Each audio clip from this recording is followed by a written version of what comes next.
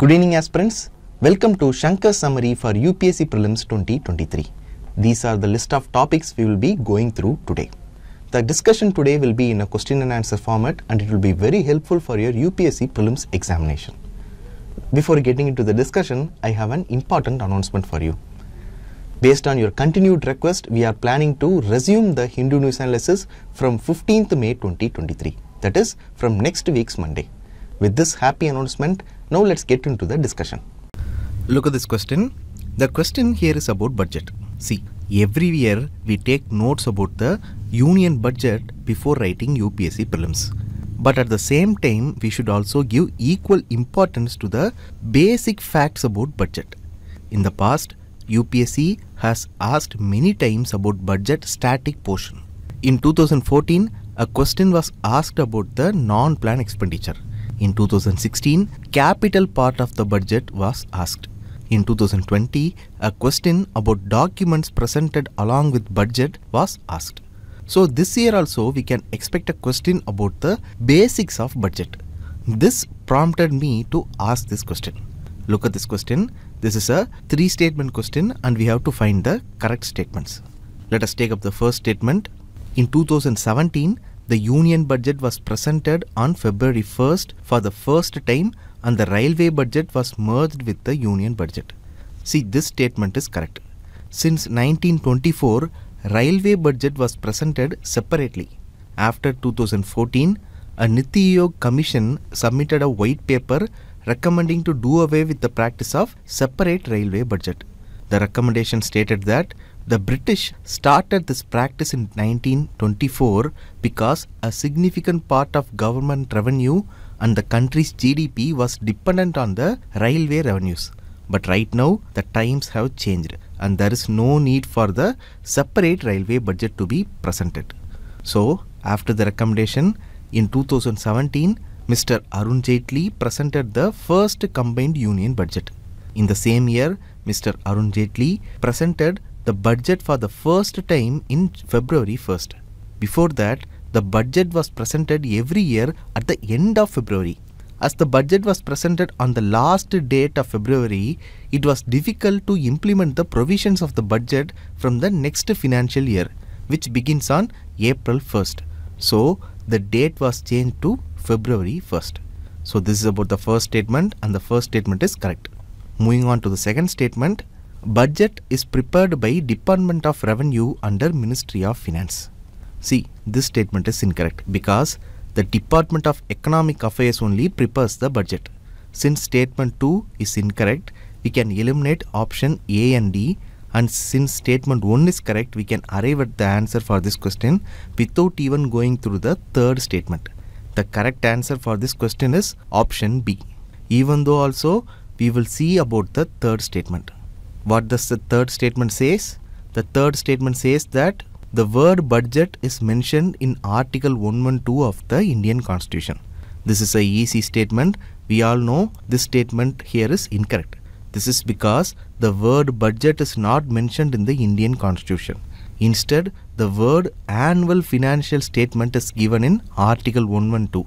Article 112 says that the President of India shall lay before the Parliament the annual financial statement every financial year. Article 112 to Article 117 deals with the procedures concerning the union budget. Revise all the articles, it will be very helpful for your prelims examination. That's all regarding this question discussion. Now let us take up the next question. This question here is about the tax regime in India. I have framed this question because since 2011 questions about tax has been asked in one way or another in the UPSC prelims examination. This question in 2011 is about the value added tax and this question from 2018 is about the products exempted from GST. Like I said, in one way or other, UPSC has been asking about tax. We all know our finance minister in 2023-24 union budget brought some changes to the tax regime. So this year UPSC might ask a question about the change in the tax regime. We have to be prepared for this. So this question about the new tax regime is important. Listen carefully. This is a two statement question and we have to find the correct statements. Let us take up the first statement. Union Budget 2023-24 abolished the old tax regime and introduced a new tax regime and tax rates for the income taxpayers. See, this statement is incorrect because Union Budget 2023-24 did not abolish the old tax regime. It just introduced some changes to the new tax regime to make it more attractive among the taxpayers. See, in India, there are two tax regimes. One is the old tax regime and the other one is the new tax regime. As you can see, both the regimes have different tax rates. The change brought during the union budget is that persons who earn income up to 7 lakhs can claim a rebate from the government under the new tax regime. But the rebate limit remains at 5 lakhs for the individuals who choose to pay the tax under the old regime. So, the statement saying old tax regime was abolished is incorrect. Even now, two regimes are all. Both the old and the new tax regimes are present and operational. So, statement 1 is incorrect. Moving on to the second statement, new tax regime has lower tax rates and exemptions compared to the old tax regime. This statement is correct. See, new tax regime contains low tax rates compared to the old tax regime. If you take the slab of 6 to 9 lakhs in the new regime, the taxpayer has to pay tax only at 10 percentage. But in the old tax regime, they have to pay 20 percentage. Secondly, the new tax regime has less exemption compared to the old tax regime. See, the old tax regime has exemptions under Article 80C, 80CCC and 80D of the Income Tax Act taxpayers under the old regime can make use of these sections by making tax saving investment or by incurring eligible expenses which are exempted from the taxable income levels. But no such exceptions can be claimed by those who are opting for the new tax regime. So statement 2 is correct. Since statement 1 is incorrect and statement 2 is correct, the correct answer for this question is option B 2 only. Moving on to the next question. This question here is about the vehicle scrappage policy in India. See, so far questions about vehicle scrapping has not been asked in the UPSC prelims.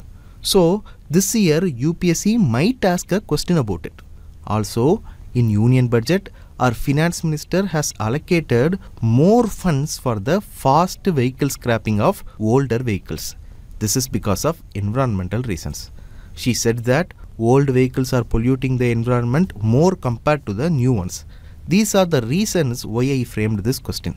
Now let us try to solve this question. The question asks us to find the correct statements about the vehicle scrappage policy in India.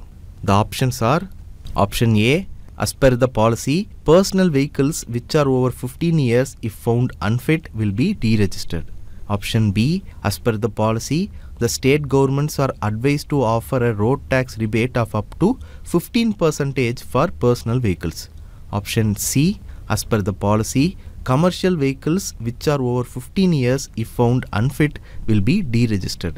And option D, as per the policy, the state governments are advised to offer road tax rebate of up to 25 percentage for commercial vehicles. Now, before we approach the question, let us see the vehicle scrappage policy in India. Firstly, commercial vehicles will be deregistered after 15 years if they are found unfit. Secondly, all vehicles of the central government, state government, municipal corporation, panchayat, state transport undertakings, public sector undertakings and autonomous bodies with the union and the state governments will be deregistered and scrapped after 15 years from the date of registration. Thirdly, private and personal vehicles will be deregistered after 20 years if it is found unfit or failed to renew registration certification. See, the policy provides strong incentives to owners of old vehicles to scrap old and unfit vehicles through registered scrapping centers which will provide a scrapping certificate. This incentivizes the following scrap value of approximately 4 to 6 percentage of ex showroom price of a new vehicle advice to state government to offer a road tax rebate of up to 25% for personal vehicles and 15% for commercial vehicles advice to vehicle manufacturers to provide a discount of 5% on purchase of new vehicles against scrapping certificate and finally waiver of registration fee for purchase of new vehicles against the scrapping certificate. So by providing these incentives that is by providing these four incentives government is pushing or nudging the commercial and the private old vehicle users to scrap their old vehicles and buy new vehicles. Now let us come back to the question. From this discussion, we know that the correct answer or the statement that is only correct here is option C. The rest of the statements are incorrect. So the correct answer here is option C. Now moving on to the next question. Look at this question. This question is about India's health sector in general and the issue of out-of-pocket expenditure to be specific. The statements given here are taken from the recent economic survey.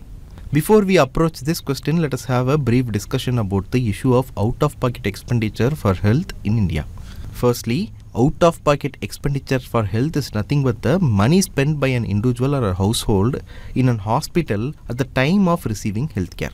According to the economic survey, this out-of-pocket expenditure in India is still high despite the contribution of the government to the health sector. See, generally, out-of-pocket expenditure for health increases in two cases. The first case is that when the services are not provided free of cost through a government health facility. And the second case is that when an individual is not covered under any public or private insurance or social protection scheme. These are the two cases where the out-of-pocket expenditure for health increases. But look at this graph. The government contribution to health sector has significantly increased from 2013-14. At the same time, the out-of-pocket expenditure has also continuously come down. In the fiscal year 2018-19, the gap between the government expenditure to health and out-of-pocket expenditure for health has reduced significantly. This is mainly because our government is providing the largest cashless health insurance scheme. It is none other than Ayushman Bharat Jan Arogya Yojana. But despite all these measures, out-of-pocket expenditure in India is still high. As you can see, the government health expenditure for 2018-19 is 40.6% of the total, while the out-of-pocket expenditure remains marginally higher at 48.2 percentage. But what is the reason for this? The Ayushman Bharat Jan Arogya Yojana targeted approximately 50 crore beneficiaries. But as per the recent economic survey, only 1.9 crore beneficiaries have been verified, including 3 crore beneficiaries verified by the state governments. This is the main reason for this. So, health insurance scheme of the government should be promoted well and it should be taken to the nook and corner of the country. Secondly, it has been recommended several times that the government health expenditure should be increased from the existing 1.2 percentage to 2.5 percentage of the GDP by the year 2025. If these two are followed, one is promoting the government insurance scheme and other one is increasing the government health expenditure, then the out-of-pocket expenditure for health in India can come down. With this discussion about the issue of out-of-pocket expenditure for health in India, now let us take back the question. Look at the first statement. Government contribution to health sector has continuously increased from financial year 2013-14 to financial year 2018-19. This statement is correct. This we saw in the graph itself. Moving on to the second statement. Between financial year 2013-14 to financial year 2018-19, out-of-pocket health expenditure as a share of total health expenditure has continuously increased. This is incorrect between this time period, the out-of-pocket health expenditure actually came down. It did not increase. So statement 2 is incorrect. Moving on to the third statement, as of financial year 2018-19, the out-of-pocket health expenditure is marginally higher than the government health expenditure. This is also correct. This we saw in the graph itself. Since statement 1 and statement 3 are correct, the correct answer here is option C. Moving on to the next question. This question is also about the data from the recent economic survey. Four statements about Indian economy are given. We have to find the incorrect statements. Look at the first statement. For the past four financial years, India's CPI has been higher than India's WPI. For this, look at this graph. For the past couple of years, both CPI and WPI have remained high. And the interesting fact here is that between 2021 and 2022, the WPI has remained higher than the retail inflation, which is CPI. This makes statement 1 incorrect. Moving on to the second statement, Indian economy witnessed positive GDP growth for the past 5 years. This statement is also incorrect. Actually, this is an easy statement because we all know that during the COVID induced lockdown, Indian economy contracted. At that time period, India did not witness positive GDP growth rate. So, this makes statement 2 incorrect. Moving on to the third statement. While the industrial and the service sector maintained positive growth rate during COVID induced lockdowns, the agriculture and allied sector contracted. This statement is also incorrect. This is because the agriculture and the allied sector was the only sector that remained immune to the COVID induced lockdown and witnessed a positive growth rate. The industrial and the service sector actually contracted due to the COVID induced lockdowns. Moving on to the last statement. During the COVID induced lockdown, India's forex reserve witnessed a decline. This statement is also incorrect. During the COVID induced lockdown, India's forex reserve actually witnessed a growth. This is mainly due to our country's decreased fuel import bill. Since all the statements given here are incorrect and the question is asking us to find the incorrect statement, the correct answer here is option D 1, 2, 3 and 4. Moving on to the next question. This question is about the criteria for an entity to be classified as a startup in India. Okay. Before we approach this question, let us see few points. As per the economic survey, India has emerged as one of the most vibrant destination for startup ecosystem. The country now has more than 84,000 recognized startups. So this year we can expect a question about startups. Okay, these are the conditions that need to be fulfilled for an entity to be considered as a startup in India. The first condition is that the entity should be incorporated as a private limited company or registered as a partnership firm or as a limited liability partnership. Secondly, it should not have been completed 10 years from the date of registration. The third condition is that the turnover of the entity should not exceed 100 crores for any of the financial years since registration. The fourth condition is that entity should be working towards innovation, development or improvement of product or process or service. And the last one is that the entity should not be formed by splitting up or reconstruction of a existing business. If a entity satisfies all these conditions, then it can be recognized as a startup in India and it is eligible for receiving benefits that is provided to the startups under the Startup India scheme. Okay, if an entity is recognized as a startup by the Department of Promotion of Industry and Industrial Trade, then it is eligible for various government initiatives like relaxed norms, tax benefits, easier compliance, access to funding, IPR tracking and easy exit policy. This is about the startups in India. Now coming back to the question. From the discussion that we just had, we know that statement 1 and statement 2 are incorrect and statement 3 and statement 4 are correct. So the correct answer here is option C 3 and 4 only. Look at this question. This question is about Pradhan Mantri Awas Yojana.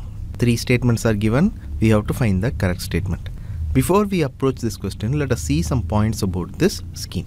Pradhan Mantri Awas Yojana is a housing scheme launched by the Union government in the year 2015. The scheme was launched with an objective of providing housing for all. Pradhan Mantri Awas Yojana as a scheme is divided into two. One is Pradhan Mantri Awas Yojana Urban, while the other one is Pradhan Mantri Awas Yojana Gramin. Nodal ministry for the urban component is the Ministry of Housing and Urban Affairs, and for the Gramin component, the nodal ministry is the Ministry of Rural Development. The aim of the Gramin component is to provide Pakka houses, that is, the permanent houses with basic amenities to rural families who are homeless or living in temporary houses. The target was to accomplish this by the end of March 2022. The scheme primarily assists the people below the poverty line. How? By providing financial grants for constructing new houses or upgrading existing unserviceable kucha houses, that is temporary houses.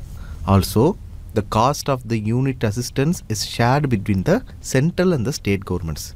In the plain areas, the sharing is 60 is to 40 between center and state.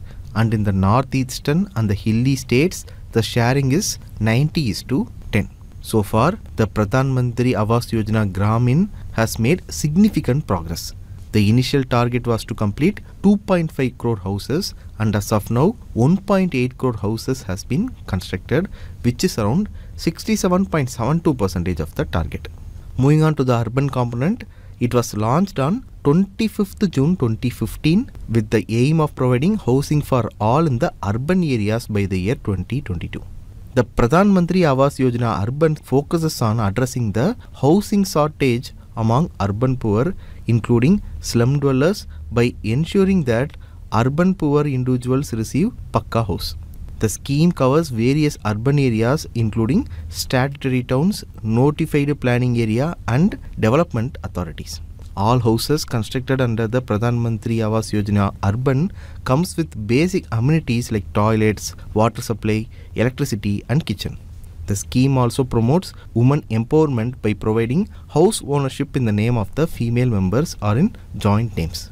As far as achievements of Pradhan Mantri Awas Yojana urban is concerned, the initial target was to construct 1.2 crore homes. However, according to the latest data from the Union Urban Development Ministry, only 60 lakh units have been completed so far. Now coming back to the question. Let us take up the first statement the nodal ministry for Pradhan Mantri Awas Yojana Urban and Pradhan Mantri Awas Yojana Gramin is the Ministry of Housing and Urban Affairs. This statement is incorrect.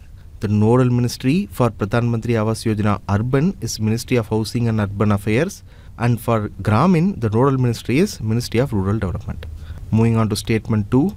Under Pradhan Mantri Awas Yojana Urban, house ownership is provided in the name of the female members. This statement is correct. Moving on to statement 3 all houses constructed under Pradhan Mantri Awas Yojana urban comes with water supply and electricity. This statement is also correct. So the correct answer here is option C 2 and 3 only. Moving on to the next question. This is a two statement question about family courts. Two statements are given and you have to find the correct statements. Before we approach this question, let us see some points about the family courts. Family courts are specialized courts that were established under the Family Courts Act 1984.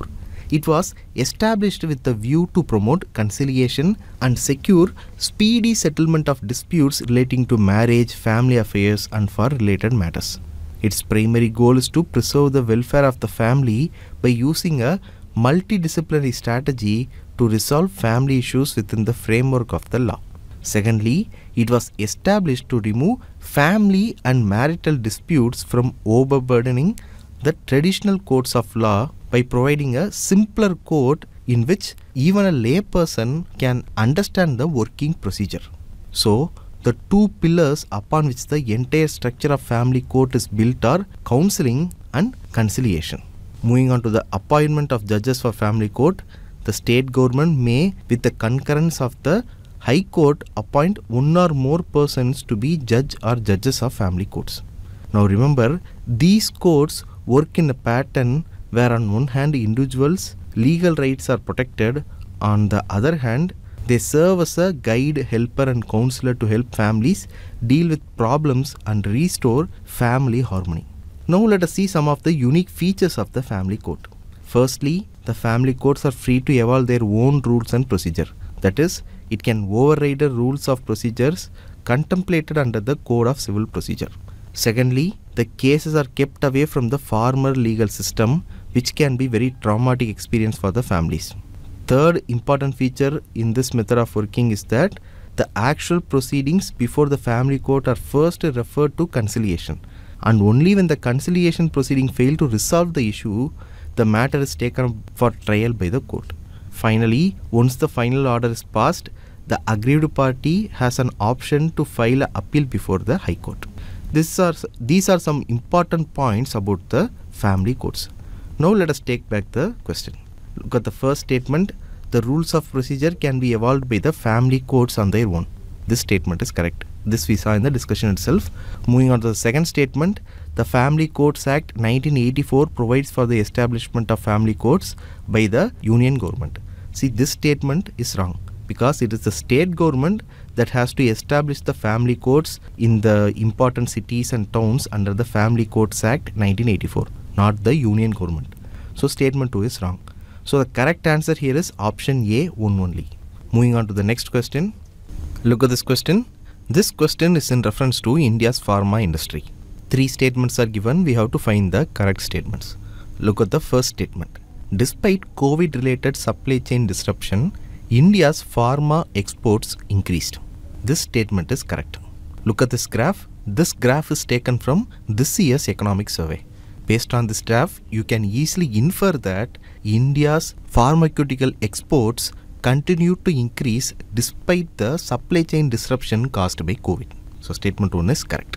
Moving on to statement 2. Currently, India is the largest producer of pharma products by volume in the world. This statement is incorrect because currently India ranked third worldwide in the production of pharma products by volume and 14th by value. So statement 2 is incorrect. Actually, India is the largest provider of generic medicines globally. Okay, India currently occupies 20% share in global generic medicine market. Okay, moving on to the third statement. FDI inflows in the sector have increased fourfold over 5 years until September 2022. This statement is also correct. FDI inflows have increased fourfold over 5 years until September 2022. As of September 2022, the pharma sector of India attracted FDI worth $699 million. This is supported by investor friendly policies and positive feedback of the industry in India. Okay, you can also refer to these graphs for the information related to pharma industries in India. All these graphs are taken from this year's economic survey. It will be very useful for your prelims examination. Okay. Now coming back to the question, since statement 1 and statement 3 are correct, the correct answer here is option C. Now moving on to the next question. This is a pair based question about some of the schemes mentioned in the union budget. On one side, the schemes are given and on the other side, the objectives are given we have to find how many of these pairs are correctly matched. Before solving this question, we will see some points about the union budget. The union budget is mentioned as annual financial statement in the Constitution of India under Article 122. It is the statement of estimated receipts and expenditure of the government. Department of Economic Affairs under the Ministry of Finance is the nodal body responsible for preparing the annual financial statement. Now, we will discuss about the importance of the recent budget that is the 2023-24 budget. This is the first budget in Amrit Kal which is the roadmap for next 25 years. India's vision for Amrit Kal includes three elements. They are opportunities for citizens with focus on youth, growth and job creation and finally strong and stable macroeconomic environment. This budget concentrates on seven priority areas known as Saptarishi. They include development, reaching the last mile, infrastructure and investment, unleashing the potential, green growth, youth power and financial sector. Moving forward, we will see four schemes related to environment that is mentioned in this year's budget. First is MISTI. MISTI stands for Mangrove Initiative for Shoreline Habitat and Tangible Income. It will facilitate mangrove plantation along India's coastline and on salt pan lands. The second one is PM Pranam, which stands for Prime Minister's Program for Restoration, Awareness, Nourishment and Amelioration of Mother Earth. This program will seek to incentivize states and union territories for promoting alternative fertilizers and for balanced use of chemical fertilizer. This is about PM Pranam. The next one is Bharatiya Prakritik Kheti Bio Input Resource Centers. These bio input resource centers will be established to facilitate adoption of natural farming. 10,000 bio input resource centers will be set up creating a national level distributed micro fertilizer and pesticide manufacturing network. Okay. The last one is Amrit Dharohar. This scheme will be implemented over the next three years to encourage optimal use of wetlands and enhance biodiversity, carbon stock, ecotourism and income generation for local communities. Now coming back to the question. From the discussion that we just had, we know that the first two pairs given here are correctly matched. Whereas the objectives of the third and the fourth schemes are interchanged. So the correct answer for this question is option B only two pairs.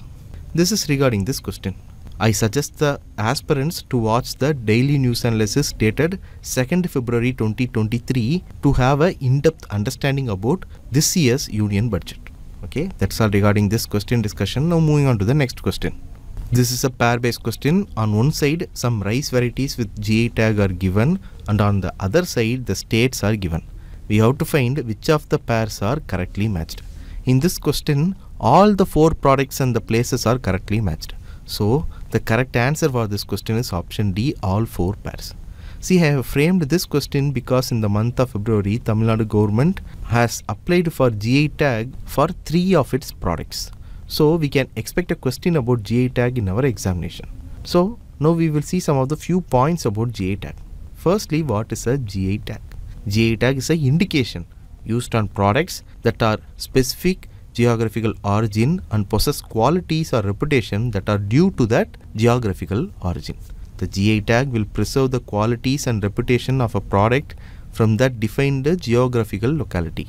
In India, the Geographical Indication of Goods Registration and Protection Act 1999 provides for the registration and protection of geographical indication.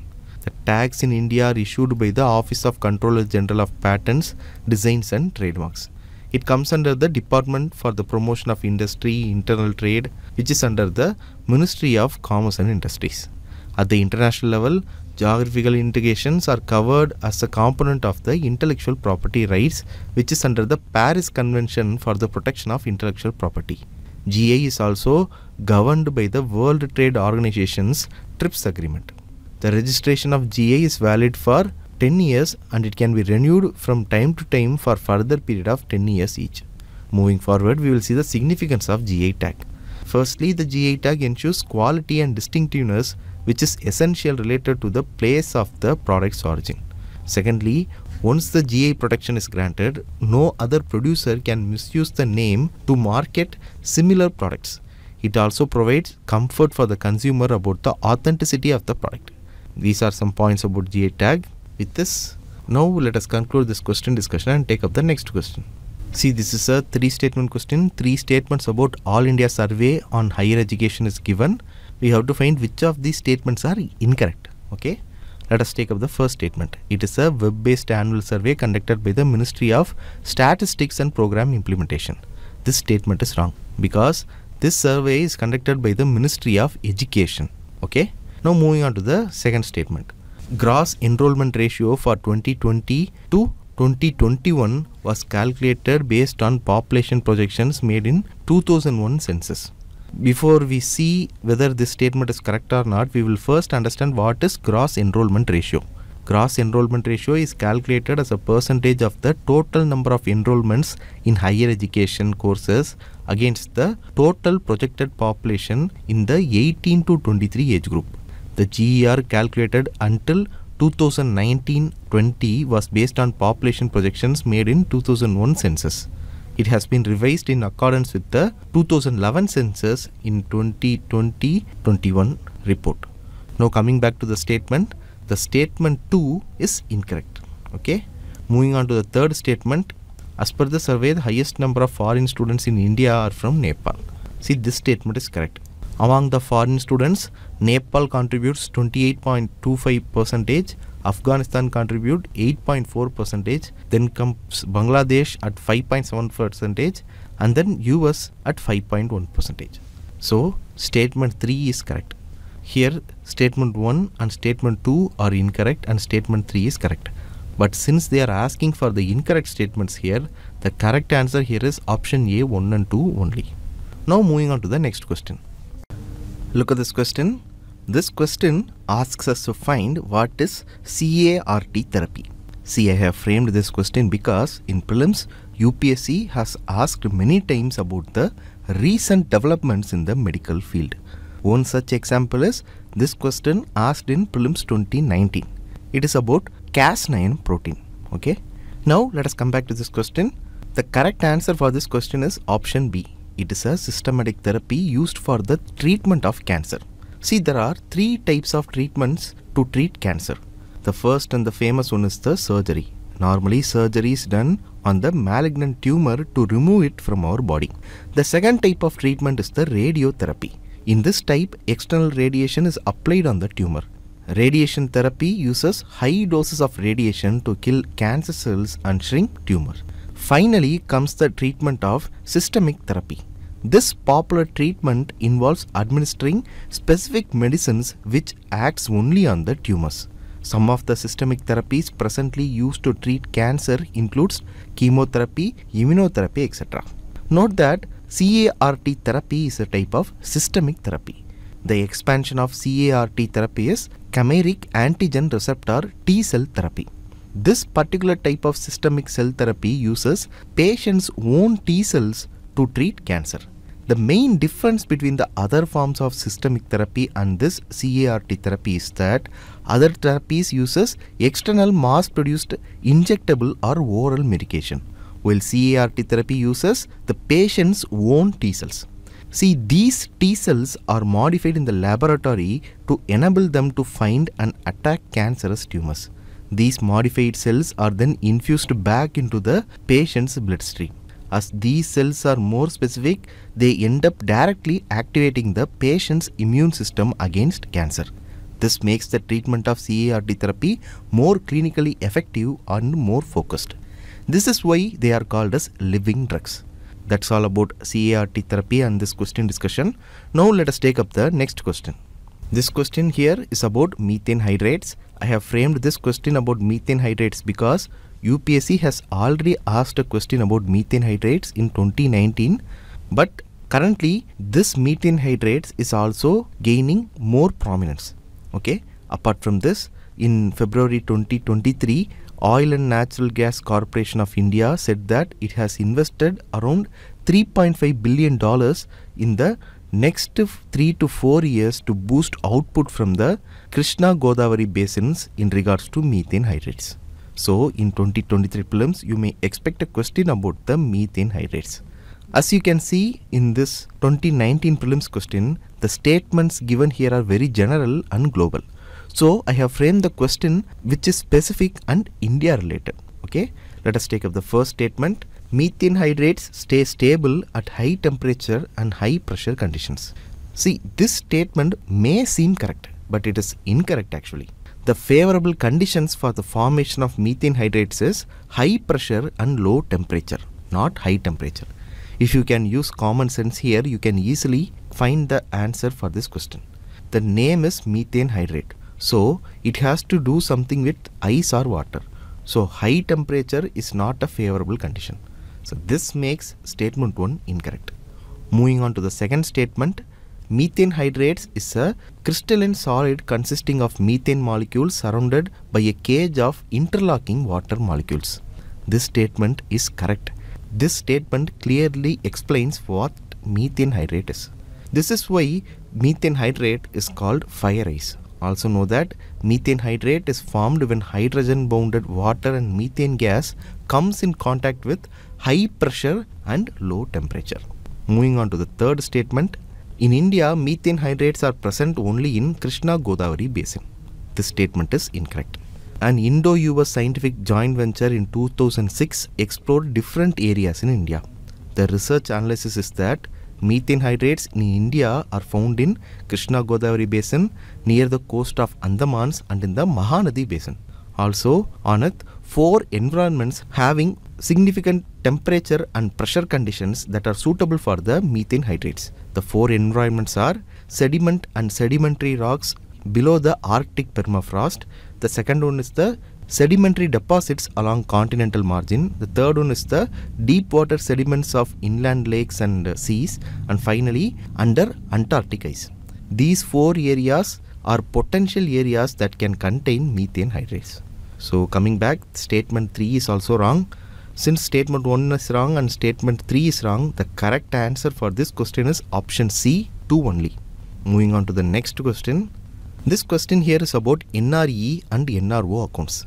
I have framed this question because in February, RBI has decided to provide UPI access to non-resident Indians who have international mobile numbers linked to their NRE or NRO accounts. since it is in news, UPSC might ask a question about it. Now let us try to solve the question. Let us take up statement 1. NRE that is non-resident external account is an account to transfer earnings from India to foreign countries. This statement is incorrect because the non-residential external account is an account of an NRE to transfer his foreign earnings to India. The principal and the interest from the NRE account is not taxed. Think about it. If a foreign currency is coming to India, then it will increase our forex reserves, right? This is why the NRE account is not taxed. Also know that NRE account is prone to exchange rate risk. Let me explain with an example. Person A is an NRI and he is depositing $100. Suppose if the current exchange rate is $1 equal to 72 rupees, then the NRE account will contain 7200 rupees. Let us say person A wants to withdraw this amount due to some personal reasons. But the current exchange rate now is 100 rupees is equal to $1. Then person A can only withdraw $72. This is because of the exchange rate fluctuation and it is the only issue associated with NRE accounts. Okay. Now moving on to statement 2. Non-resident ordinary account is an account to transfer foreign earnings to India. This statement is also incorrect because non-resident ordinary account is an account of an NRI to manage his or her income that is earned in India. Let us say an NRI has a property in India and he is earning some income from that property. This income that is earned in India is deposited in the NRO account. So, unlike the NRE account where the deposit is made in dollars, the deposit in the NRO account is made in rupees. This is why both the principal and the interest earned from the NRO account are taxed. Since the deposit is made in rupees, it is not vulnerable to exchange rate risk. See here both the statements that is statement 1 and statement 2 are wrong. So the correct answer for this question is option D neither 1 nor 2. I hope you understood the difference between NRE and NRO account clearly here. So with this, now let us conclude this and take up the next question. Look at this question here. Here, four wildlife sanctuaries which are located in Kerala are given. We have to arrange them in the north to south direction. The sanctuaries given here are Wayanad Wildlife Sanctuary, Parambikulam Wildlife Sanctuary, Shendurne Wildlife Sanctuary and Neyyar Wildlife Sanctuary. To answer this question, look at this map here. From this map, you can know that Wayanad Wildlife Sanctuary is located in the northernmost part of Kerala. It is followed by Parambikulam, which is located in the middle of Kerala. And finally comes the Shendurni and Neyyar Wildlife Sanctuary in the southernmost part of Kerala. Together, the order given in the question exactly follows the north to south direction. So the correct answer for this question is option B 1, 2, 3 and 4. See, we have framed this question because last February, the 12th annual survey of fauna was conducted in the Shendurne Wildlife Sanctuary. The survey documented nearly 450 species of birds, odonates, butterflies, arachnids and mammals. Some important butterflies that were spotted are listed here. These species got mentioned in the Hindu newspaper. So just pause the video and go through it. UPSC might give these species and tell you to identify what kind of species is this. At these times, you should be able to answer such question. So just have a glance at the butterfly species that are listed here. Okay. Moving forward, since I mentioned about the Shendurni Wildlife Sanctuary, now let us see few points about the sanctuary. The Shendurni Wildlife Sanctuary is a protected area located in the Western Ghats. It was established as a wildlife sanctuary in 1984. It is located in Kollam district of Kerala and it comes under the Agastyamalai Biosphere Reserve. The sanctuary got its name from the endemic species Gutta trivan corica, which is locally known as Chengurunji. The Shendurni Wildlife Sanctuary lies on the either side of the Shendurni River. The sanctuary has an artificial lake and it is also surrounded by the reservoir of Thenmala Dam. Now, moving forward, we will see the flora and fauna that is found in this wildlife sanctuary. This wildlife sanctuary is a biodiversity hotspot. It has 1257 species of flowering plants with 309 species being unique to the Western Ghats. The sanctuary is also home to 267 species of birds which include many migratory, endemic and endangered species. Also, the majority of the sanctuary is covered in tropical evergreen and semi-evergreen forest. Apart from this, the sanctuary is known to have a population of highly endangered lion-tailed macaque. Other common mammals of this wildlife sanctuary include elephant, gaur, sambar deer, wild bear, Malabar giant squirrel and Nilgiri langur. That is all about Shendurni Wildlife Sanctuary. Now let us move on to the next question. Look at this question. This question is about the Defense Technology and Trade Initiative. In short, DTTI. See, last February, this initiative appeared in the news. This is why I framed this question. Now, before answering this question, let us first learn about the Defense Technology and Trade Initiative. The DTTI is a defense mechanism between India and the United States. It was launched in 2012. Remember, DTTI is neither a treaty nor a law whereas it is a flexible mechanism that engages senior leaders from India and US to strengthen the opportunities in the field of defense. What are the reasons behind the creation of DTTI? Before the creation of DTTI, the scope of cooperation on defense technology between India and the United States was very narrow. This was due to the presence of differing bureaucratic procedures and legal requirements. So, DTTI was created to bring sustained leadership focus to the bilateral defense trade relationship and to expedite the cooperation of defense technology between India and the United States. Now, we will see the aim of this initiative. The first and foremost aim is to focus on the sustained bilateral defense trade relationship between India and the United States. Secondly, this initiative aims to create opportunities for co-production and co-development of defense equipments. And finally, this initiative helps in exploring new areas of technological development and also expanding US-India business ties. Now, moving forward, we will see the projects that are underway under this new initiative. The projects under this initiative can be classified as near, medium and long-term projects. The near-term projects include air-launched a small unmanned system, lightweight small arms technology, and intelligence surveillance and target acquisition and reconnaissance technology. Whereas the medium-term projects include maritime domain awareness solution and virtual augmented mixed reality for aircraft maintenance. And finally, the long-term projects include terrain shaping obstacle and counter UAS rocket artillery and mortar system. That is all about this project. And to execute the project under the DTTI, four joint working groups that focused on land, naval and air aircraft carrier technology have been established jointly by India and the United States. These groups promote mutually agreed projects within their domain. Under this joint working group of DTTI, India and US are currently developing a air-launched unmanned aerial vehicle. The project agreement for ALUAV was signed between Indian Defense Ministry and the US Department of Defense on July 30, 2021. Recently, there was news that this ALUAV is going to be tested latest this year. Okay, that is all about DTTI. Now coming back to the question. Let us take up the first statement. It is a flexible defense mechanism between India and the US which aims to bring sustained leadership focus on the bilateral defense trade relationship. This statement is correct. This we saw in the discussion. Moving on to the second statement, this initiative aims to create opportunities for co-production and co-development of defense equipment. This statement is also correct. Moving on to the third statement, under this initiative, India and the US signed the project agreement to develop air-launched unmanned aerial vehicle. This is also correct. Since all the three statements are correct, the correct answer here is option D 1, 2 and 3. Moving on to the next question. This question is about the e-courts projects two statements are given, we have to find the correct statement. Now before answering the question, let us learn some points about e-courts project. E-courts or virtual courts is a concept that aims to limit the physical presence of people in the court. In case of e-court, the filing of cases and adjudication process takes place over the internet. The e-courts project is being implemented in India in a phased manner and it is a pan-India project.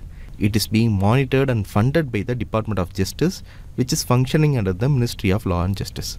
The Indian e-courts project was conceptualized on the basis of the National Policy and Action Plan for Implementation of Information and Communication Technology in the Indian Judiciary 2005 report.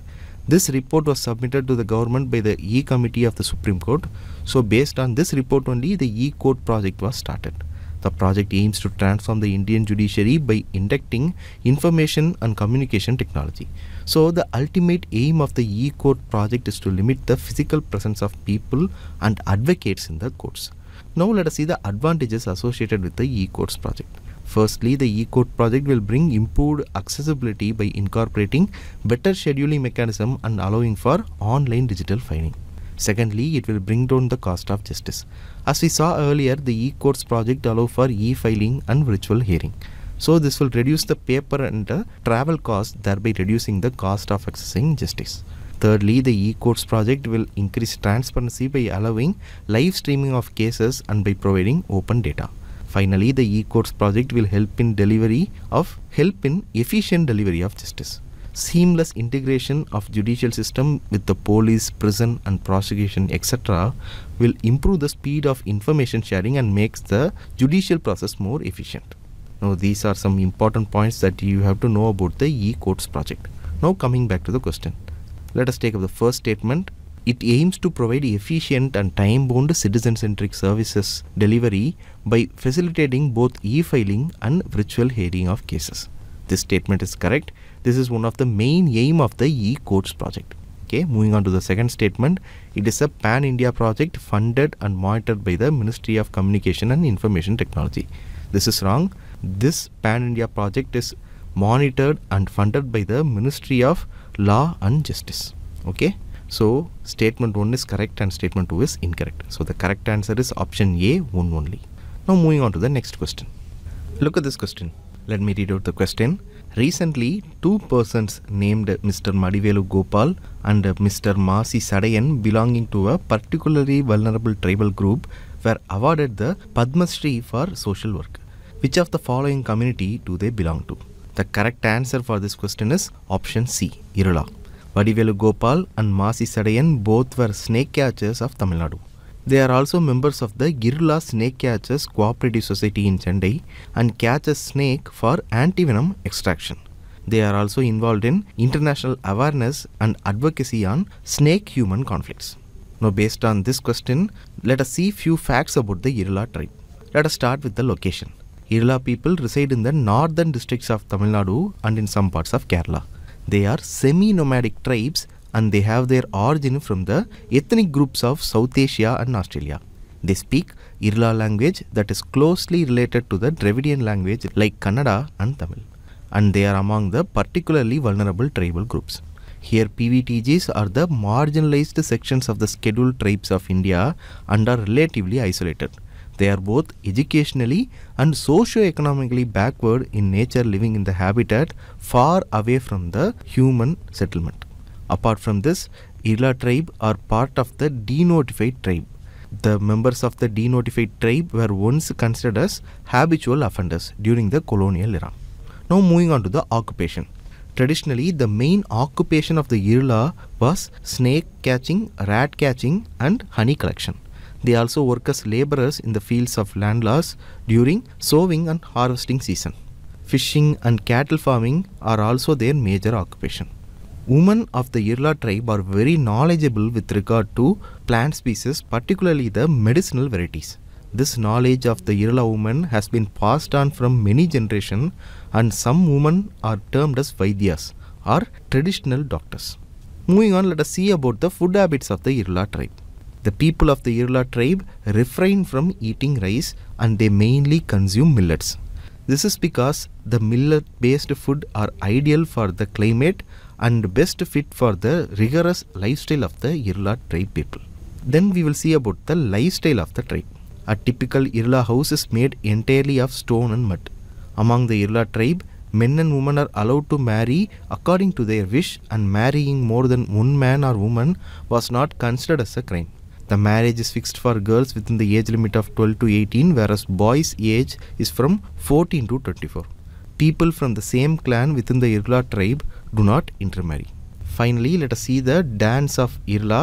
The traditional dance of the Irla tribe is the Irla dance. Okay, these are some points about the Irla tribe which can be asked in the UPSC prelims examination. Okay, now moving on to the next question. It is a three statement question about red sanders. Let us take up the first statement. It is a flora species that is endemic to the distinct tract of forest in the eastern Ghats region of Andhra Pradesh. This statement is correct. This species is endemic to the forest of the southern eastern Ghats.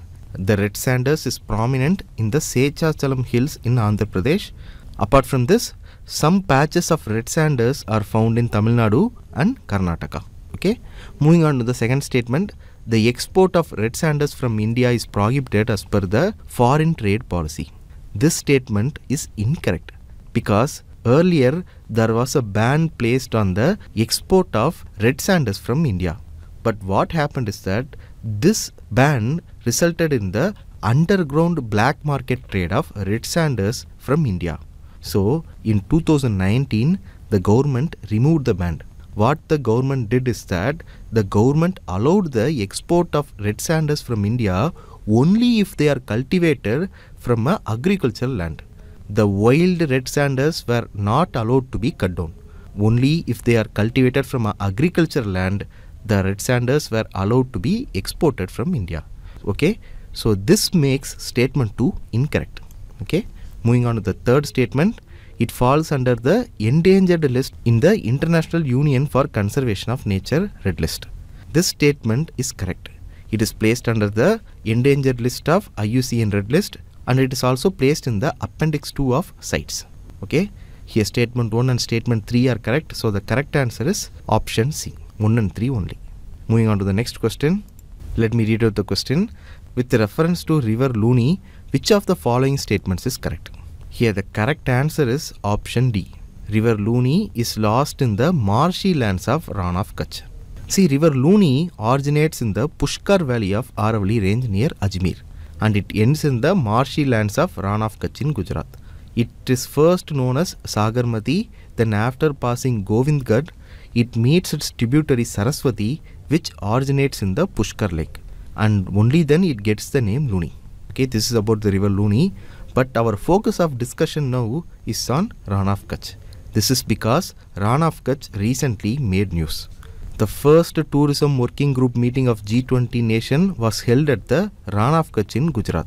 This is mainly done to showcase the success stories of rural and archaeological tourism. Okay. Now we will focus mainly on the important points of Rann of Kutch.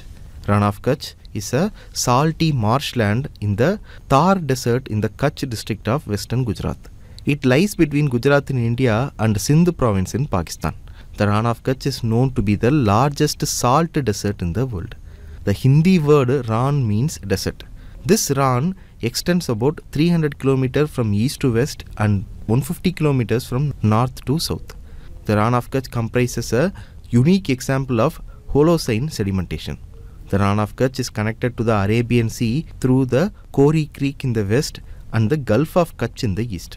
So what is this Gulf of Kutch? We all know Gulf is a portion of the ocean that penetrates inside the land. So basically Gulf of Kutch is a inlet of the Arabian Sea along the western coast of India. It divides the Kutch and Kathiawar peninsula of Gujarat as you can see in this image. This region actually comprises of three landscape. They are the Greater Rann of Kutch, the Little Rann of Kutch and the Bani grassland. The Greater Rann is in the north and the Little Rann is in the southeast as you can see in the image. These two are separated by the highlands of the Kutch region. Then the Bani grassland is there. This grassland in Gujarat's Kutch district is one of the largest grasslands in the Indian subcontinent. The Bani grasslands are declared as a protected forest in 1955 under the Indian Forest Act 1927. There has been numerous natural wetlands in Bani and the largest one is known as Chari Dand which was recently declared as a conservation reserve. The Rann has been populated since the Bronze Age. We all know about the Indus Valley civilization, right? The people of the Indus Valley civilization had many settlements in the Rann of Kutch region. Dholavira is the largest Indus Valley site in this region. Now finally let us see about the ecology of the region. The Rann of Kutch region is also home to a range of wildlife such as flamingos and wild ass. It also make up part of the sanctuaries such as the Indian Wild Ass Sanctuary, Kutch Desert Wildlife Sanctuary etc. Spiny tailed lizard, hyenas and antelope species such as Nilgai and Chinkara are found in the Kutch Desert Wildlife Sanctuary. These are some important points about Rann of Kutch. See, as I already mentioned, recently Rann of Kutch made news, so you can easily expect a map based question or a geography related question about Rann of Kutch in this year's prelims examination. So, revise the points that we saw in the discussion, it will be very helpful for your examination. Okay, now moving on to the next question. Look at this question. This question is about the Government of National Capital Territory of Delhi Amendment Act 2021. Before solving this question, we will quickly have a discussion on the administration of Delhi. We'll start with the governance model of New Delhi. Now, Delhi is no ordinary place in India. It enjoys a special status as the National Capital Territory. Back in 1991, the National Capital Territory of Delhi Act was created, giving Delhi the features of both a state and a union territory. This special status was granted through the 69th Amendment of the Constitution in 1991. They added new articles to the Constitution, namely Article 239AA and 239AB. Now, let's break it down a bit. Article 239 deals with the administration of union territories and has two important provisions. First, a union territory is administered by the president through an appointed administrator except as otherwise provided by the parliament. Second, the president can appoint the governor of a state as the administrator of an adjoining union territory. And this governor turned administrator operates independently of their council of ministers. Okay? Now article 239 aa is where the things get interesting for delhi. The national capital territory of delhi came into existence and the lieutenant governor became the administrator of the nct a legislative assembly was set up giving it the power to make laws on matters in the state list and the concurrent list of the constitution However, there were a few limitations. The Legislative Assembly couldn't make law regarding public order, the police and the land. To aid and advise the Lieutenant Governor on matter within its jurisdiction, a Council of Ministers headed by the Chief Minister were also established. But in case of difference of opinion, the Lieutenant Governor could refer it to the President for a discussion. Now, let's fast forward to the Government of National Capital Territory of Delhi Act 2021. This act made some changes to the existing governance model. It amended various sections of the Government of National Capital Territory of Delhi Act 1991. One significant change was the term government mentioned in any law made by the Legislative Assembly would now refer to the Lieutenant Governor. This gave the Lieutenant Governor more prominence in the decision making process. The act also made it necessary for the Delhi government to obtain the opinion of the Lieutenant Governor before taking any executive action also. Additionally, the Amendment Act restricted the Assembly and its committee from making rules regarding the day to day administration or conducting inquiries related to administrative decisions. These matters were now outside the purview of the Assembly. These are some points that you have to know about the recent amendment made to the Act in 2021. Now let's take back the question. Let us take up the first statement. The government in the National Capital Territory of Delhi meant Lieutenant Governor of Delhi. This is correct. This is according to the recent amendment made in 2021. This we saw just now. So statement 1 is correct. Moving on to the second statement, the act bars the assembly from making rules to take up matters concerning day-to-day administration. This is also correct. This also we saw just now. Since both the statements are correct, the correct answer here is option C, both 1 and 2. Moving on to the next question. This question is about the applications of graphene. Before we approach this question, let us see some points about graphene. Graphene is a single layer of carbon atoms and these atoms are tightly bound in a hexagonal honeycomb lattice. Graphene is an allotrope of carbon and it is the building block of graphite. That is, the layers of graphene are piled on top of each other to form graphite. Graphene is the best conductor of heat at room temperature and also the best conductor of electricity at room temperature. Graphene is also flexible, transparent and incredibly strong. It is said that graphene is 200 times stronger than steel and 1000 times lighter than paper and 98% transparent. In addition to this, graphene is also very thin. Graphene is also known as the wonder material because of its vast potential in energy and medical world. This year we can expect a question about graphene. This is because last year that is in 2022 the Kerala government announced to set up India Innovation Center for Graphene. It is the country's first graphene innovation center which is being constructed in Thrissur, Kerala. It is a joint venture of Digital University of Kerala, Center for Material for Electronic Technology and Tata Steel Limited. Now coming back to the question. See, even if you don't know the answer for this question, you can easily eliminate the fifth application given here, which is electrical insulation. If you even have a little bit knowledge about graphene, you would be knowing that graphene is the most electrically and thermally conductive material in the world at room temperature. So, graphene's high electrical conductivity makes it unsuitable for application that requires electrical insulation. Using this information alone, we can eliminate option C and D. Since graphene is used in sensors and solar cells, the correct answer for this question is option B. Okay. Now moving on to the next question. See here a description about a scheme that was recently launched in this year's budget is given. We have to find the correct scheme. This scheme is designed to undertake mangrove plantation in coastal regions and salt pans. This initiative involves convergence of the MNREGA scheme and the Campa fund. The correct answer for this question or the paragraph describes the Mishti scheme. So the correct answer is option A. Okay. Now, as a part of this question discussion, we will see about this Mishti scheme. As I already said, it is a new scheme that was announced in the Union Budget 2023-24.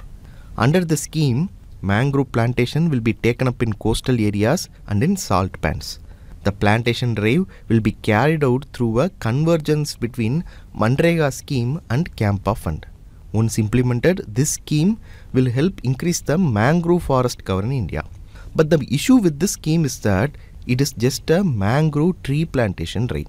The survival rate of mangrove tree plantation is just 50% and the survival rate of mangrove sapling is about 60%. It takes 3 years for a new mangrove plant to stabilize. So, a contract based one time plantation under MNREGA and Campa may not work, as the seeds and saplings might get destroyed due to lack of attention. The efforts under Mishti will not turn fruitful until the government educates the local community about the importance of mangroves. This will encourage the local community to take ownership of the local mangrove forest and this will help increase the mangrove cover in the long run. These are some important points you have to know about the Mishti scheme. Now let us conclude this and take up the next question. I look at this question. This question is about the Animal Welfare Board of India three statements are given and we have to find the correct statements. Before we solve this question, let us see few points about the Animal Welfare Board of India. This board is a statutory advisory body on animal welfare laws. It promotes animal welfare in our country. It was established in 1962 under the Section 4 of Prevention of Cruelty to Animals Act 1960.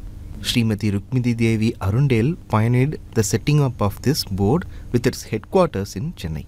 Miss Arundale guided the activities of the board for nearly 20 years till her demise in 1986. Now coming to the composition of this body. The board consists of 28 members. It includes 8 members of parliament, 2 from Rajya Sabha and 4 from Lok Sabha. The term of office of these members is for a period of 3 years. I have displayed here the important functions performed by the Animal Welfare Board of India. Just pause the video and go through it. With this basic introduction, now let us try to solve this question. Look at the first statement. It is the statutory body established under the Prevention of Cruelty to Animals Act 1960. This statement is correct. This we saw just now. Moving on to the second statement, the term of office of members is for a period of 3 years. This statement is also correct. Moving on to the third statement, it can provide financial assistance to the recognized animal welfare organization. See, this statement is also correct. It is one of the major functions of the Animal Welfare Board of India. Since all the three statements are correct, the correct answer is option D 1, 2 and 3. Moving on to the next question. The next question is based on National Disaster Management Authority. Three statements are given and we have to choose the correct statement. Look at the first statement. It is a statutory body. This statement is correct. The National Disaster Management Authority is a statutory body which is established under the Disaster Management Act 2005. Okay, moving on to the second statement. Union Home Minister is the chairperson of National Disaster Management Authority. This statement is incorrect because the National Disaster Management Authority is headed by the Prime Minister, not the Home Minister. In the national level, we have the NDMA, National Disaster Management Authority. And in the state level, we have the State Disaster Management Authority, which is headed by the respective Chief Ministers. And then the district level, we have the DDMA or the District Disaster Management Authority and they are headed by the district collector. Okay. Moving on to the third statement, it provides support to other countries affected by major disaster. See, the National Disaster Management Authority has various functions. It lays down policies on disasters, it approves the national plan on disaster management, it prepares plan for ministries and departments of Government of India in accordance to the national plan. It coordinates enforcement and implementation of the policy. It provides and recommends funds for the purpose of mitigation of disasters. It provides support to other countries affected by major disaster. See, look at this. This is a major function of the National Disaster Management Authority. So this makes statement 3 correct. Okay. Here statement 1 is correct and statement 3 is correct. So the correct answer here is option B 1 and 3 only. Okay. Moving on to the next question. This question is about the small satellite launch vehicle. See, I have framed this question because the SSLV was recently successfully launched and this SSLV placed three different payloads at the low Earth orbit on February 2023. So, we can expect a question about SSLV in this year's prelims examination. But before solving this question, let us see some important points about the SSLV. The SSLV is a three-stage launch vehicle configured with three solid propulsion stages. It has a liquid propulsion velocity trimming module. Here, the velocity trimming module is used to insert satellite into the intended orbit. The SSLV is manufactured by the New Space India Limited along with Indian industry partners. Here, New Space India Limited deals with capacity building of local industries for space manufacturing. We also have another associated body of ISRO which is the Antrix Corporation.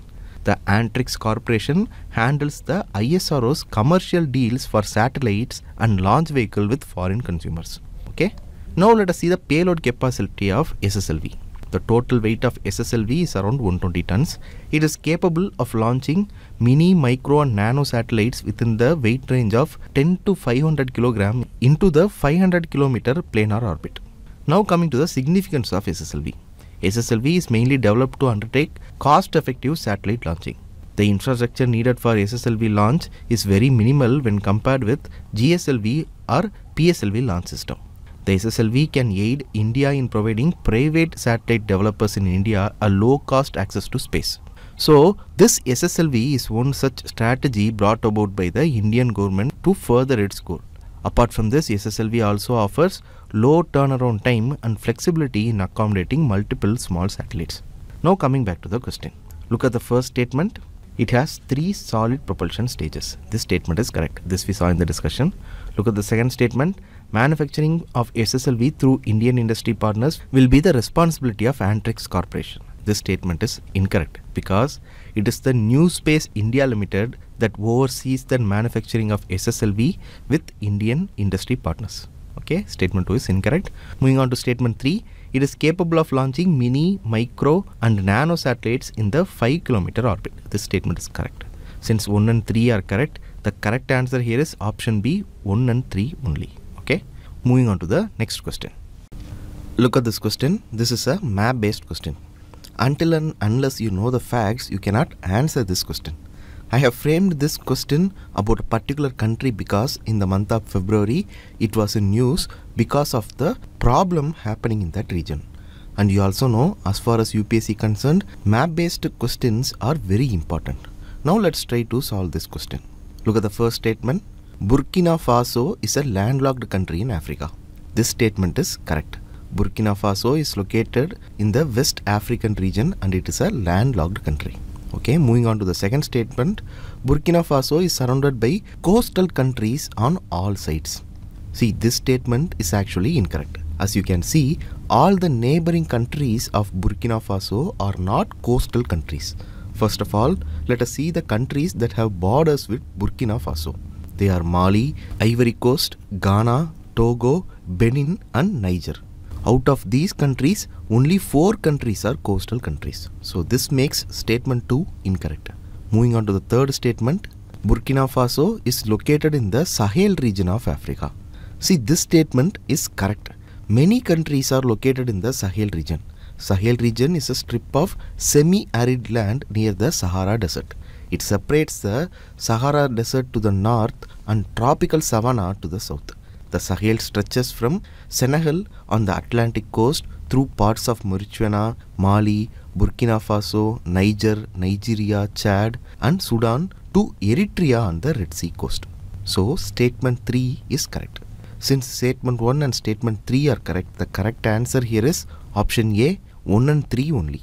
Moving on to the next question. This question here is about the Khajuraho group of temples. We have to find out which style these group of temples belong to. I have framed this question because in 2012 UPSC prelims examination different styles of temple architecture was asked. So it is important to know about the temples which were built in these styles. So what is the correct answer for this question?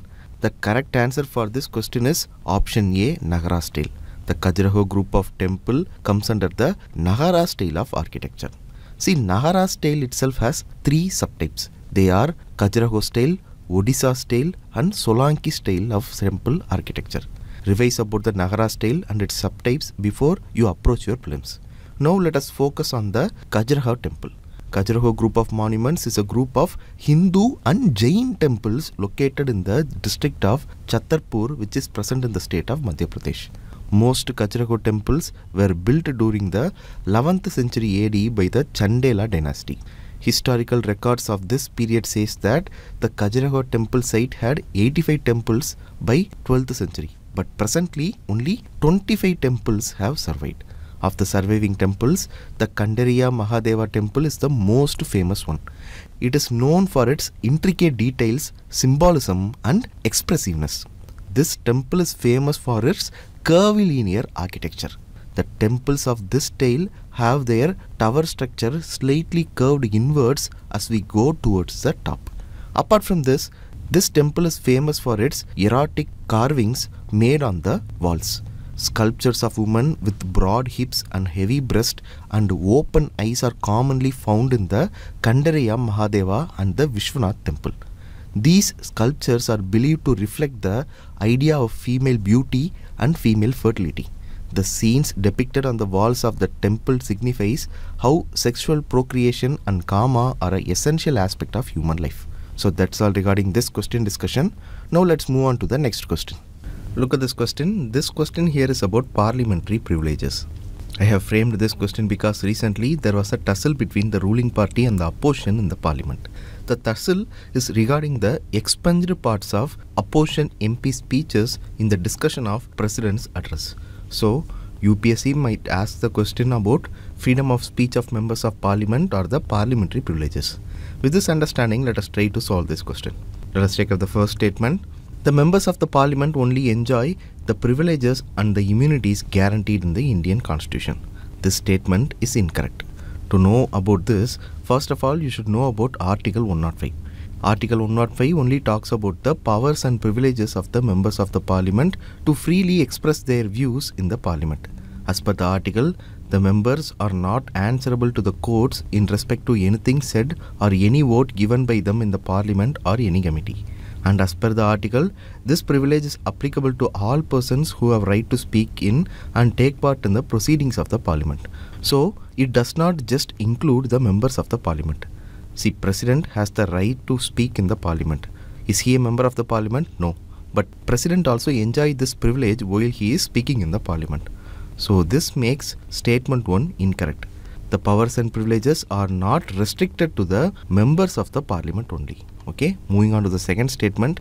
As per the Indian Constitution, Parliament has the power to make laws to define the powers, privileges, and immunities enjoyed by the members of the Parliament.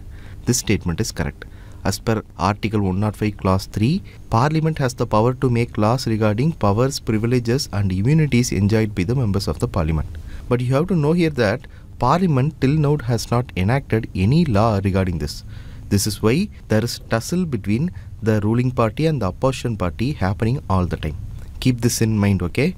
Because in the prelims, that might be a statement saying that Parliament has enacted a law for the parliamentary privileges. Then the statement is incorrect, okay? So here the statement is correct. Since statement 2 is only correct, the correct answer here is option B 2 only. Moving on to the next question. This question is about earthquakes. Here statement 1 talks about Earth's rebound theory and statement 2 talks about plate tectonic theory. Before we address this question, we will try to understand these two theories. See, the Earth's rebound theory is based on the understanding that prior to an earthquake, stress accumulates in rocks on either sides of the fault. This is due to the movement of the tectonic plates. The stress arises from the gradual displacement of these plates and this results in the deformation of the rocks. However, this stress to deform the rock is counteracted by the presence of frictional force. As long as the frictional force surpasses the pressure in the rock, no significant movement occurs along the fault. The stress continues to accumulate gradually over time. Eventually, a critical point is reached where the accumulated stress exceeds the threshold of the frictional force. Then what happens? It finally leads to rupture and subsequent displacement of the rocks.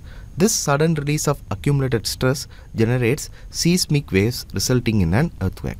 So in essence, it explains how energy is stored in the rocks. Now let us take back statement 1. Statement 1 says that the Earth's rebound theory explains how energy is spread during earthquakes. So this makes statement 1 correct. Now moving on, we will see about the plate tectonic theory. According to this theory, Earth's lithosphere is fragmented into approximately a dozen major plates and several minor plates. These plates are constantly in motion. This is because they are driven by convective currents in the underlying asthenosphere. The plates interact along their boundaries in three main ways. They move along at the divergent boundaries. This is when new crust mainly at the ridges are formed. They collide sometime this is when they form mountain ranges or trenches at the convergent boundaries and they slide past each other at the transform boundaries, causing earthquakes. The plate tectonic theory provides a comprehensive framework for understanding the distribution of continents, the formation of mountain ranges, the occurrence of earthquakes and volcanic activities, and the evolution of Earth's surface over geological time. Now let us take back statement 2. The plate tectonic theory explains how major landforms are created as a result of Earth's subterranean movements. So statement 2 is also correct. Here since both the statements are correct, the correct answer here is option C, both 1 and 2. See, I framed this question because of the recent earthquake in Turkey. You can expect a question either about the map location of Turkey or the basics of earthquake in this year's prelims. So revise all the points we discussed. Now moving on to the next question. See, this is a pair-based question. On one side, projects initiated by India are given and on the other side, the countries in which the projects are implemented are given. We have to find which of these pairs are correctly matched. Let us take up the first project. The project is Motihari Amlekganj oil pipeline. This oil pipeline would be South Asia's first cross-border petroleum products pipeline between Motihari in India and Amlekganj in Nepal. So, the first pair is correctly matched. Moving on to the second pair, the second project is Kaladan Multimodal Transit Project. The Kaladan Multimodal Transit Project connects Kolkata port to Myanmar's Sittwe port by sea, Sittwe to Paletwa via river Kaladan, Paletwa to border of India through roads and further ahead to Lawngtlai in Mizoram again by road. So here it says that Kaladan Multimodal Project is located in Bangladesh, which is wrong. Kaladan Multimodal Project is located in Myanmar. So the pair number 2 is incorrect. Moving on to the third project, which is Maitri Setu Bridge. See, this bridge has been built over the Feni River, which flows between Indian boundary in Tripura state and Bangladesh. This bridge, which is 1.9 kilometer long, joins Sabroom in Tripura with Ramgarh in Bangladesh. Here it says that this bridge is located in Sri Lanka, which is wrong. Actually, it is located in Bangladesh. Here only the first pair is correctly matched. So the correct answer is option A, only one pair. Now moving on to the next question. Look at this question. This question is about the National Land Monetization Corporation. Three statements are given and we have to find the correct statements. Before solving this question, let us discuss about the National Land Monetization in prelims perspective. For better understanding, let us first know what is land monetization. The term land monetization refers to the process of turning a non-revenue generating land into a income generating land. Land monetization helps to generate revenue from the land without losing the ownership of the land. For example, the barren government land can be leased to some private company for carrying out their function. This will provide some income to the government without losing ownership of the land. Now we will see about the National Land Monetization Corporation. The creation of Land Monetization Corporation was announced in the Union Budget 2021-22. On March 9, 2022, the Union Cabinet approved the creation of the corporation. The National Land Monetization Corporation is fully owned by the central government. It falls under the administrative jurisdiction of the Department of Public Enterprises, which comes under the Ministry of Finance. The National Land Monetization Corporation was being set up to carry out the monetization of government and public sector assets in our country. Now we will see the functions of the corporation. The NLMC strives to monetize underutilized and unutilized land of the central public sector enterprises. Apart from this, it will also facilitate the monetization of assets belonging to public sector undertakings that have ceased operation. Secondly, the NLMC advises and supports other government entities in identifying their surplus non-core assets and monetizing them in a professional and efficient manner. Thirdly, the NLMC will act as a repository of best practices in land monetization. This is done by providing technical advice to the government in implementation of asset monetization programs.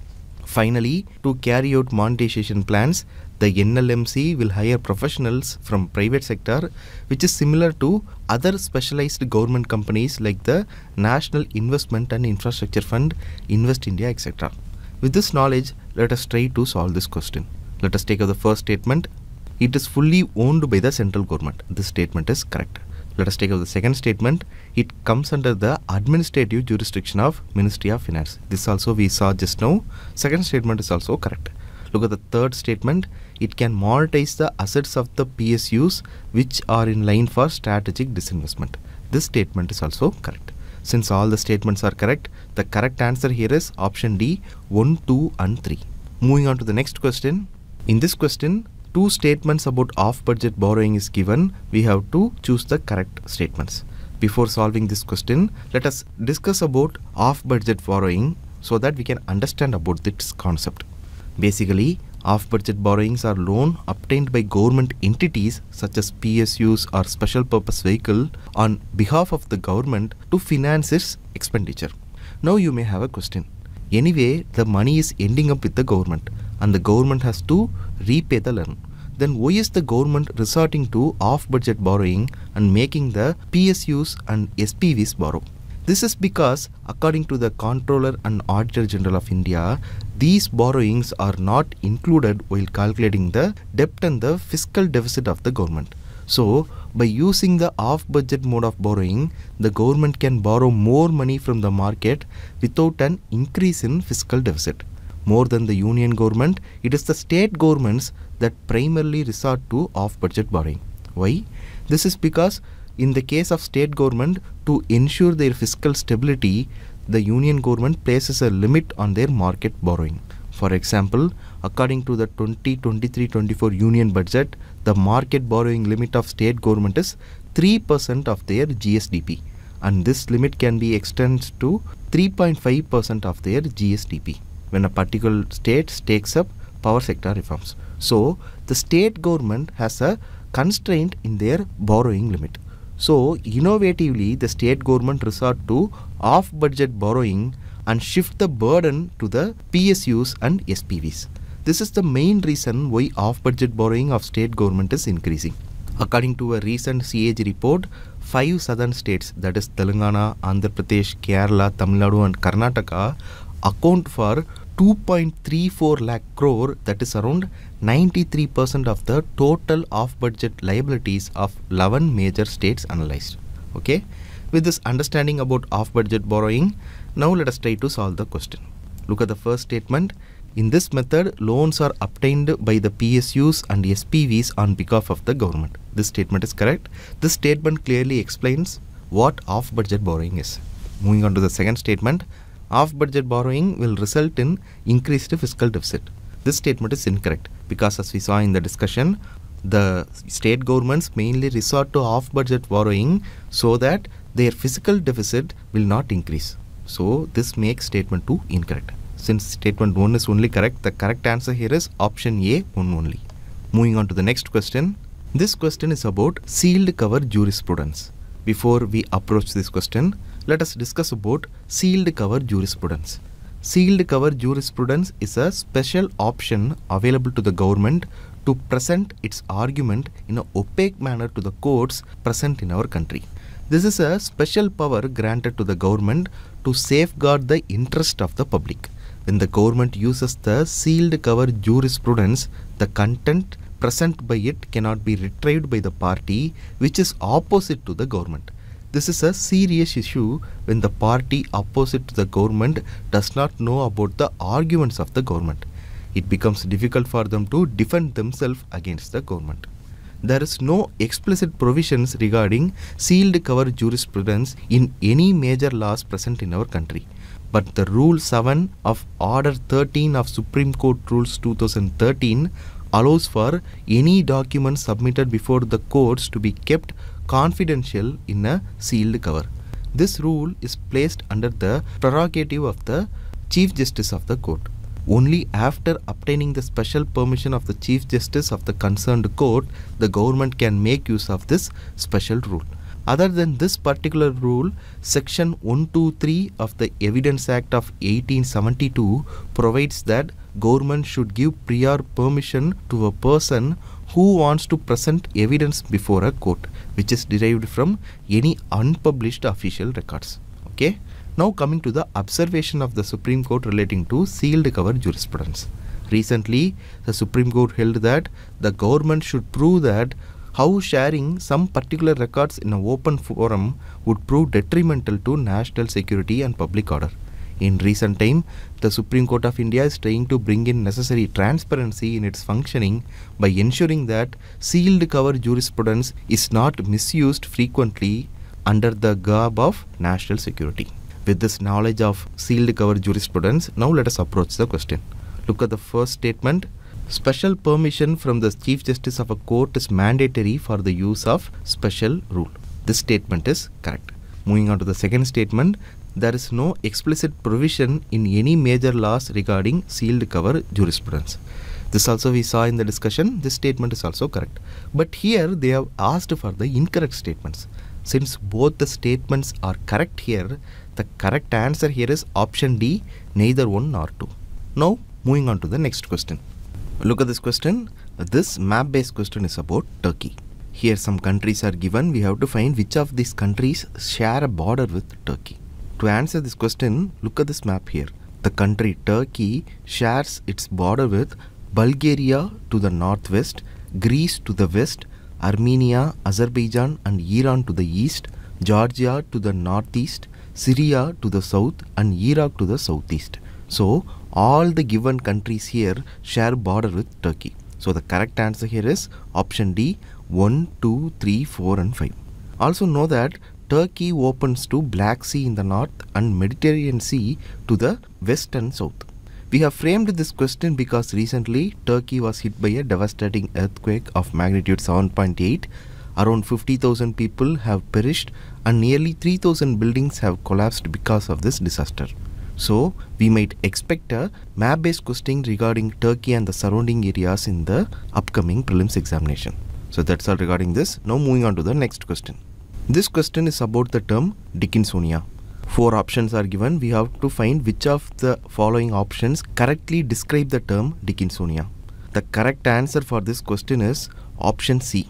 Dickinsonia is an extinct primitive marine animal that lived 600 to 500 million years ago during the late Ediacaran geological period. Okay. See, two years ago, the discovery of a rare fossil of Dickinsonia was reported from the Bhimbetka rock shelters near Bhopal, Madhya Pradesh.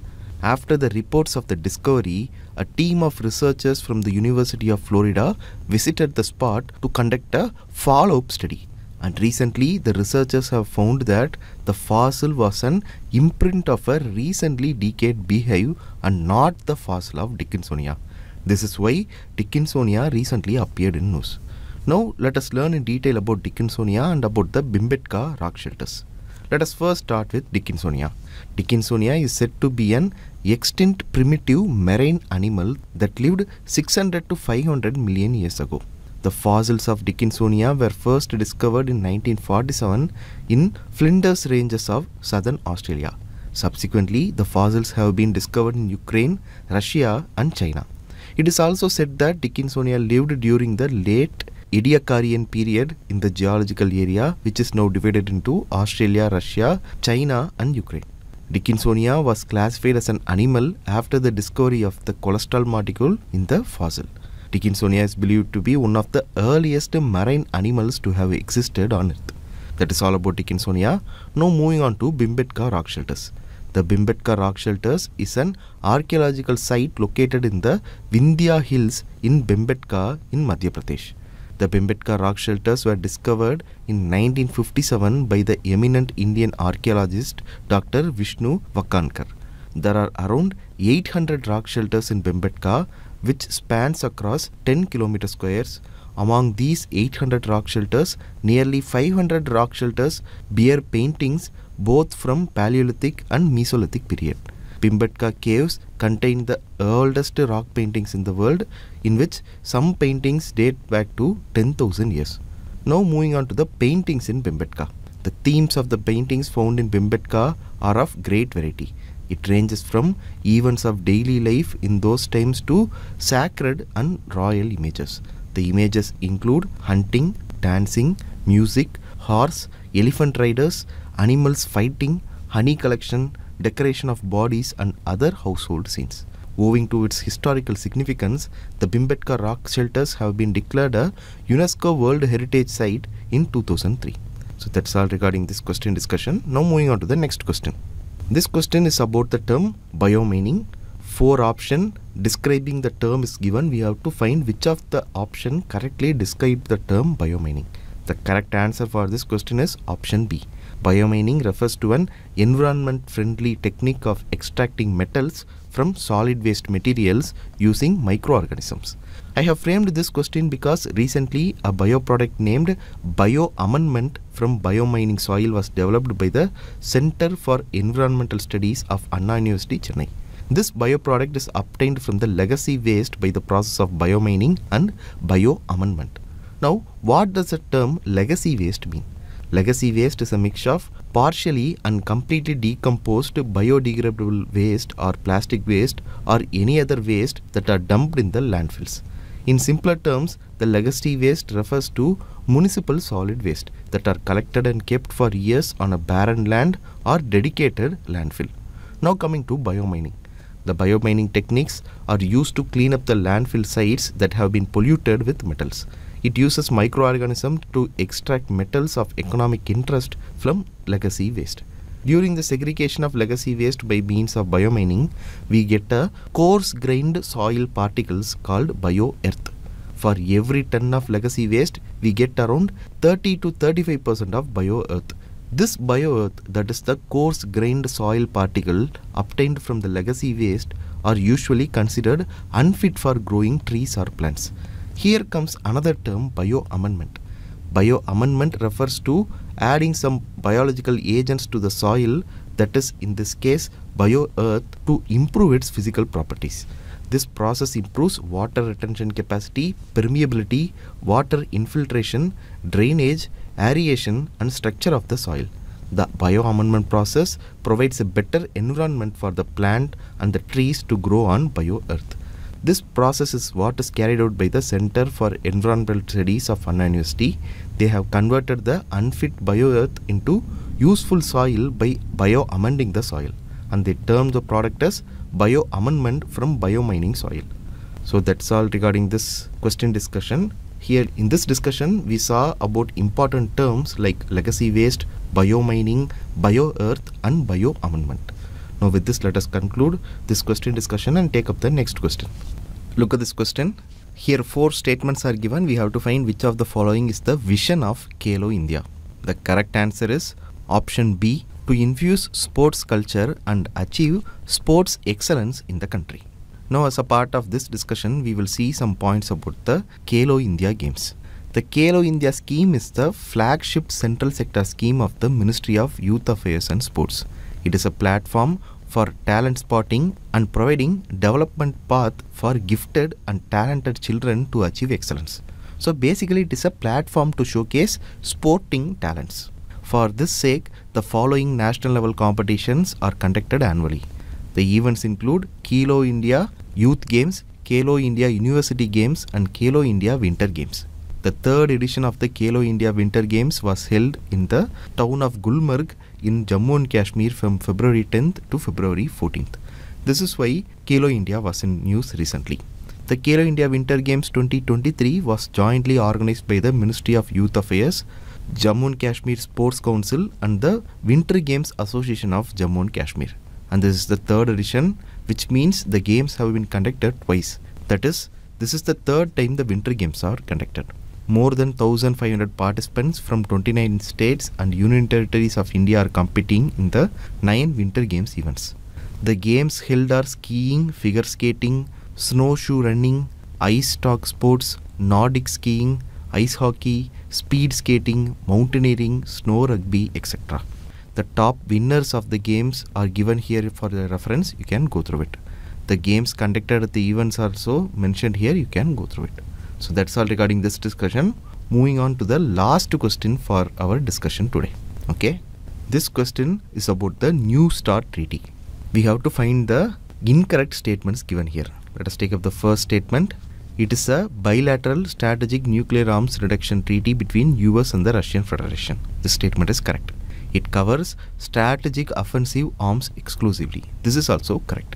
Moving on to the third, it requires both parties to send notification within 5 days even if missiles are being moved to a new base. This is also correct. Moving on to the last statement, US officially suspended the treaty. This statement is incorrect. Since they are asking for the incorrect statements here, the correct answer is option D.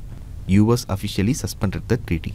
Then who suspended the treaty? Actually, recently, Russia suspended the treaty. This is why the New START treaty recently made news. Now, as a part of this discussion, let us see few facts about the New START treaty. The name START come from the original Strategic Arms Reduction Treaty known as START 1 which was signed between the US and the USSR in 1991 and this came into force in 1994. Here the strategic offensive arms applies to nuclear warheads deployed by strategic nuclear delivery vehicles. SNDV includes intercontinental ballistic missiles with range exceeding 5500 kilometers, strategic bombers, warships and cruise missiles including air and sea launched cruise missiles. START 1 lapsed in 2009 and it was replaced by SORT which is also known as Treaty of Moscow and then it was replaced by the New START Treaty. This New START Treaty was signed in 2010 by former US President Barack Obama and his Russian counterpart Dmitry Medvedev. It came into force in February 2011. When the current US President Joe Biden took office in 2021, the treaty was extended for another 5 years, that is until 2026. Now let us see few facts about the New START Treaty. Firstly, under the treaty, America and Russia cannot deploy more than 1550 strategic nuclear warheads. Also, they cannot deploy more than 700 long range missiles and bombers. Apart from this, the treaty also limits each country to deploy 800 deployed and non deployed launchers and delivery vehicles.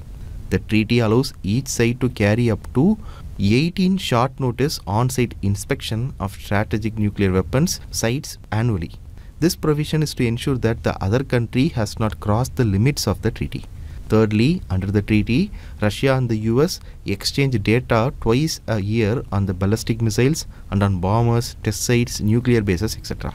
Fourthly, the treaty mandates the two parties to send notification within 5 days if they change or update something in their stockpile.